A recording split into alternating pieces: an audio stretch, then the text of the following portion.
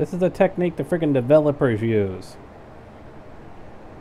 It cannot be that, well, I suppose it can be that complicated, but they've clearly set it up to be relatively simple.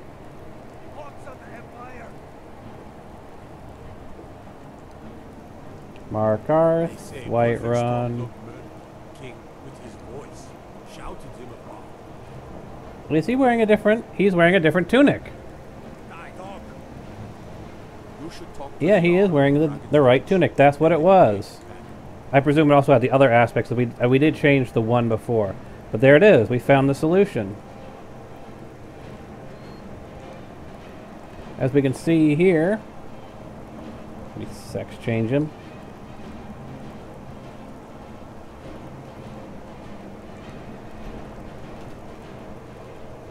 Yep, it is the same tunic and everything. So that's what it was.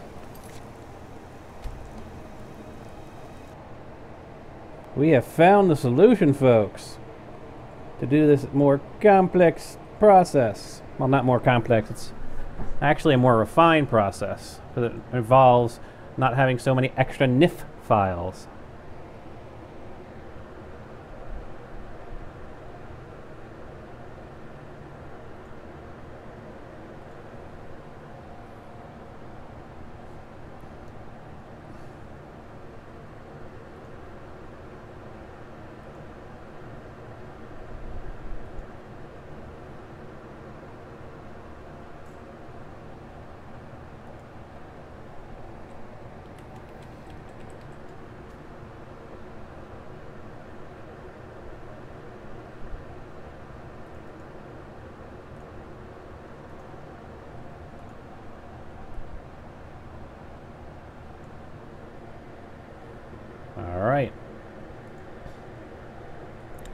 You can see here, we needed to have the proper, we needed to have a file that had proper texture setups, like the Dawnguard one, Dawnstar one, and we need to set its 3D index to zero. So if I change the 3D index on all of these, yes, I'm absolutely sure, to zero, we should see our guards in their new armors.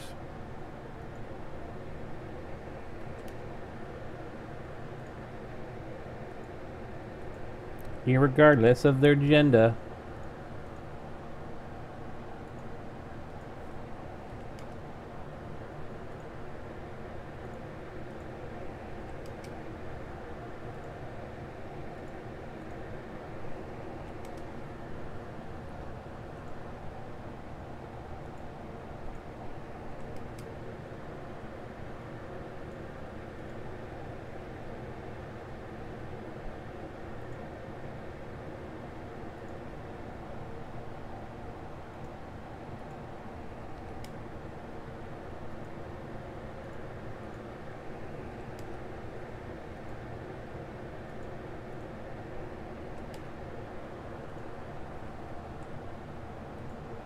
That's done there.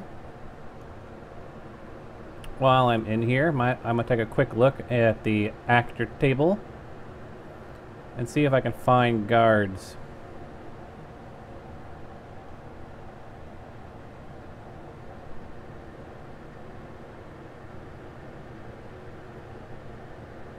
Armor, armor add-on, activators, actions, actor value information.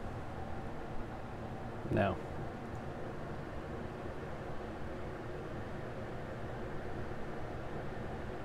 Non-player character, actor.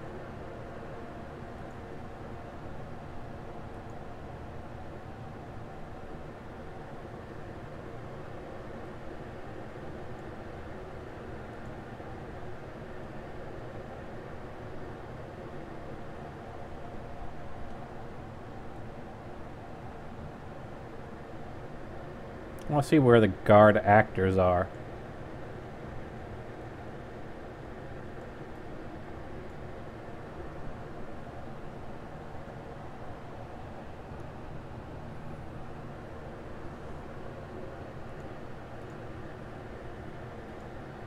So we have got Gone Guard. We've got Dawnstar Guard here.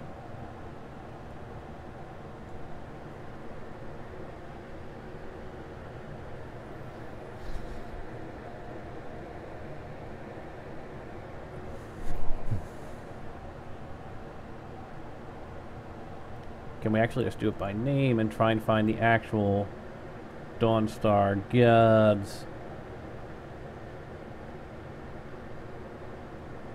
Alright, so these are all the things that have a gar guard reference. So if I wanted to make variety in the guards, I'd have to tinker with these.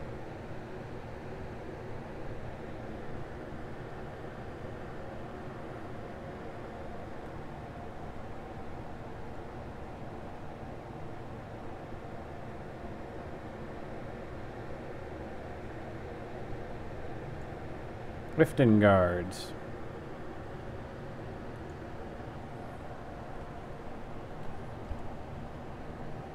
I'd really have to take a close look at how the guard logic is set up it adds some variety to their faces and respawn rates. What do we got here?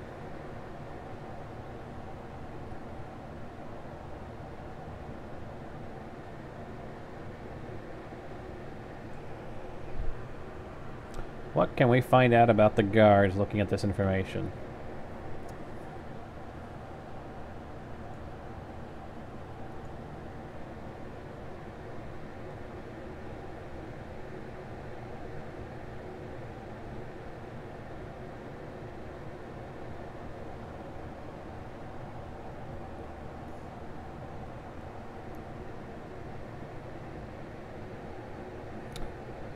Yeah, so basically you change that.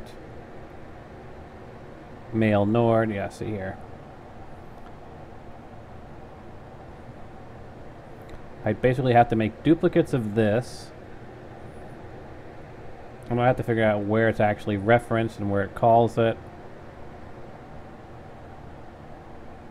So adding new guards isn't uh,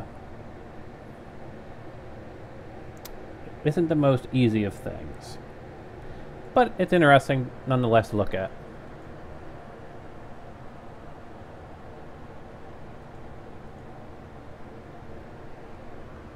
Now, if we've done everything properly, when we pop into the game, we should see all of our guards that we have spawned around us are wearing their proper new gear. And it's only using one NIF file for all of that. As opposed to, you know, 9. Or, well, 9 plus all the supplemental subsections of it. But there we go, yes! We've got guards aplenty. Markarth, Whiterun, Falkreath, Falkreath Guy, Riften, Palehold Guard, Winterhold Guard, Solitude Guard.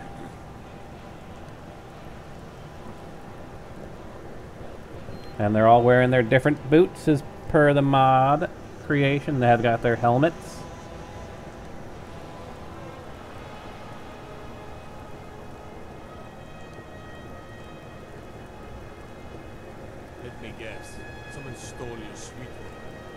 No, no, they did not. But there you go, folks.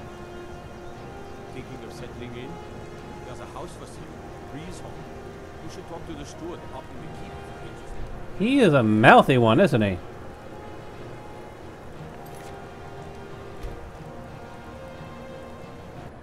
So, with that all done, we can now take a look at what files I can now delete.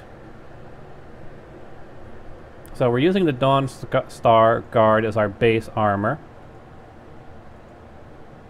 Which means that my full... Uh, now, ultimately, when I do the same thing for the boots, I'll be able to remove all the boots from here as well. Because it actually already is a base. Alright, so I can take out the Falkreath Guard Armor. These three.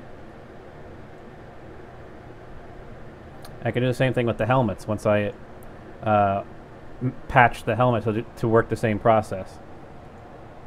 I'll leave the guard armor because I'm not sure if I were to tinker with the mod whether I, I could um, actually just use that instead of the Dawnstar. So we'll leave that in there for now.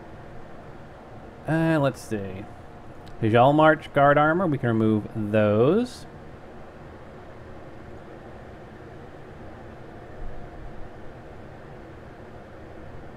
Markarth. Where is the Markarth guard armor? Markarth guard armor.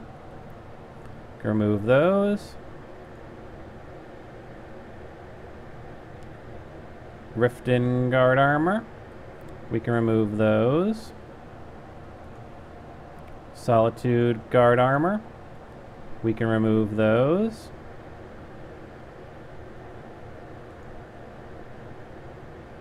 Whiterun guard armor. We can remove those. Winterhold guard armor. We can remove those.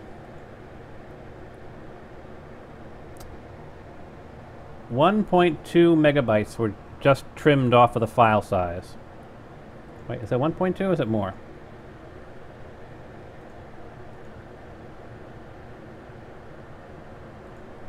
Me pop this out and move it over to here.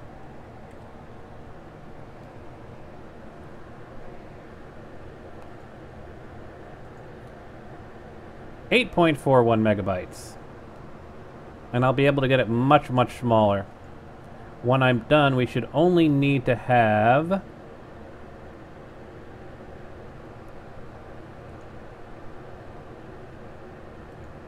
that. Those should be the only files I need. Because the boots are coming from the fur boots, the gloves are coming from the Dawnguard gloves, meaning that they already have existing uh, meshes. So when I'm done, this folder will be reduced to a size of 1.45 megabytes from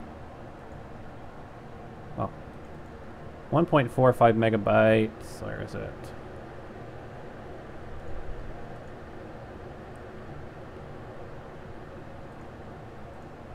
be these six, uh, five files, and the first person.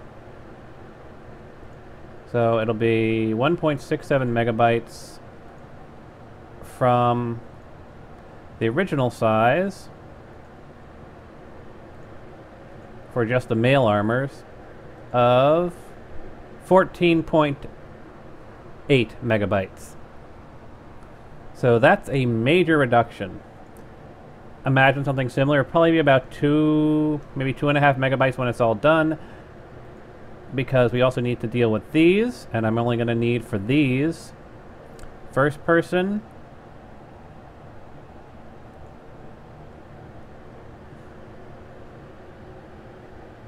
Yep, F, F, and, and yep.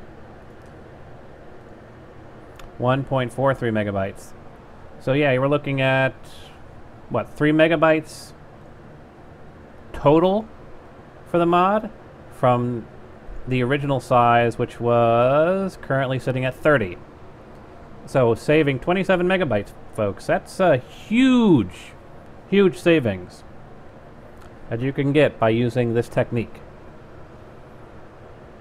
And that also means that you can make the mod much, much bigger because you know, you only need to reference one re base model as opposed to having to reference tons of them. And that's for the meshes, but that's for the meshes. You know, I haven't even considered the size of the textures because the texture sizes are not even going to change. My texture sizes are going to remain 123 megabytes.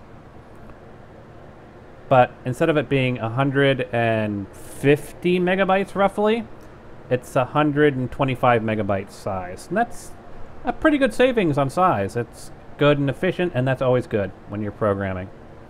Alright, so we're going to end the stream here. I'm going to upload it to my YouTube, and then I'm going to go jump back on Sarcana.